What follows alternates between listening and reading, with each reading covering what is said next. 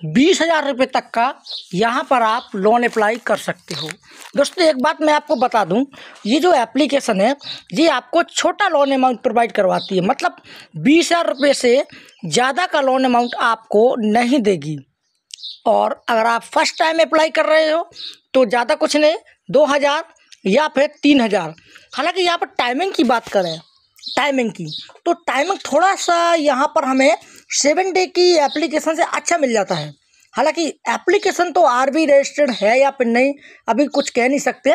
मैं वीडियो में बाद में बता दूँगा कि आर बी रजिस्टर्ड है या फिर नहीं है। पहले हम इसमें आप हम जो है ट्राई करके देखते हैं कितना लोन पास होता है ठीक है? तो गेट मनी पे क्लिक करेंगे ठीक है? फिर तो देखो यहाँ पर आ, सीधे ये कह रहा है कि loan amount change click for update मतलब मैं आपको बता दूँ सीधी भाषा में कि मैंने इस एप्लीकेशन से पिछले करीबन छः महीने हो चुका होगा।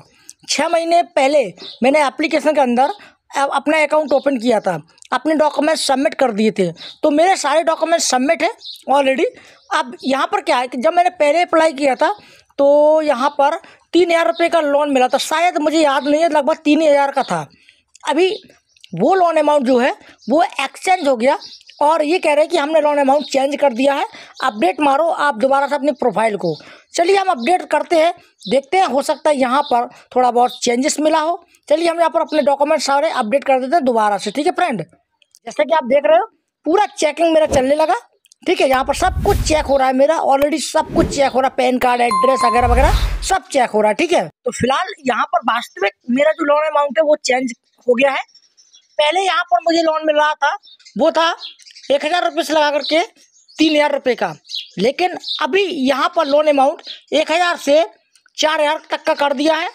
टाइमिंग भी यहाँ पर बढ़ा दी गई है। अट्ठाईस दिन की यहाँ पर टाइमिंग कर दी गई है। और यहाँ पर अगर हम क्लिक करते हैं लोन पे तो यहाँ पर सब कुछ मैं आपको दिखाता हूँ। यहाँ पर हम क्या करेंगे? बैक करके यहाँ पर सबमिट कर देंगे। अब सबमिट करने के बाद ये प्रोसेस यहाँ पर आ गया। अब यहाँ पर समझ लो दोस्तों, पूरी जानकारी।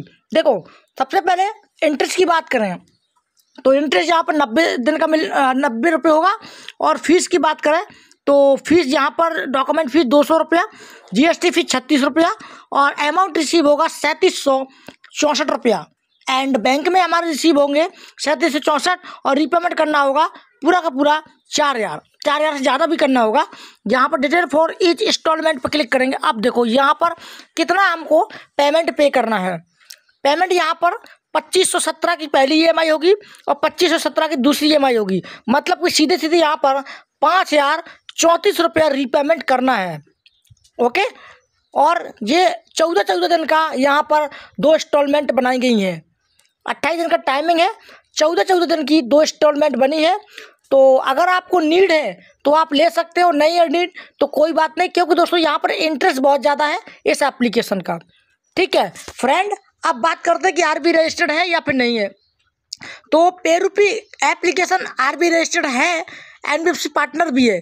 लेकिन यहाँ पर इसका इंटरेस्ट काफ़ी ज़्यादा है, जिसको हम लेने के लिए आपको नहीं कहेंगे बट अगर आपको बहुत ज़्यादा नीड है तो यहाँ पर आपको हम बता दें कि बैंक स्टेटमेंट देने की ज़रूरत नहीं। अगर आप बैंक स्टेटमेंट दोगे तो थोड़ा बहुत अच्छा लोन अमाउंट देखने को मिल जाएगा।